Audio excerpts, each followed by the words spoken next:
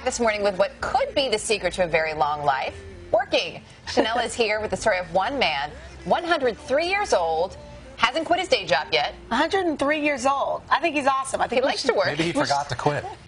well, I'm going to explain. You ready? Oh. His name is Loren Wade. He says he tried Carson retirement in his 60s, but he got bored pretty quickly. So he applied for a job at Walmart and has never looked back. It might seem like just another day of work for Loren Wade, watering the plants, greeting customers, running the cash register, but it's also Wade's 103rd birthday. Gotta give you a hug. It's your birthday. Oh, okay. And after more than 32 years working at the Winfield, Kansas Walmart, Wade has no plans to retire. I like to meet people. Uh, being here, I get to talk to a lot of lot of people. I like being occupied. I usually keep pretty busy at, at one thing or another. They see to it that I do. He's still working five days a week, and the customers know he's a fixture here. I think the man's here 24/7. He just he just belongs here.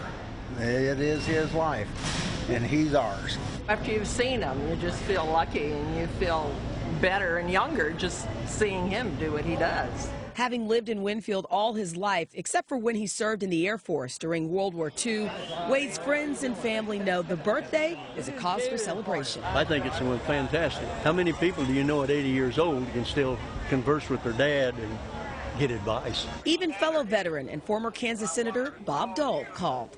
You're an inspiration for me. I turned 92 on Wednesday, and maybe I'll get you one of these days. Okay. You're not, you're not planning on retiring, are you? No, not yet.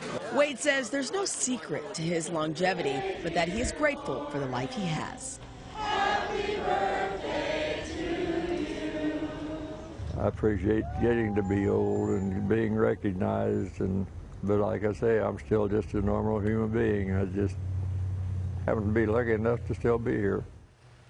Loren Wade is Walmart's oldest employee in the United States. So, in honor of his birthday and his military service, Walmart is donating $125,000 nice. to the Friends of the National World War II That's Memorial. Great. That is inspiring. Isn't that great? Yeah. Imagine your whole life, 70, 80 years of working and then throw on another 33 years on top of that. I, I mean, that's just incredible. But if he's enjoying, it's not really like work, right? So he's just kind of having yeah. fun. No, absolutely. I think so. Last week I did the story on the senior games, and you mm -hmm. remember a little bit before mm -hmm. that I did um, the nation's oldest park ranger. I think she's oh, about to be 93, 94.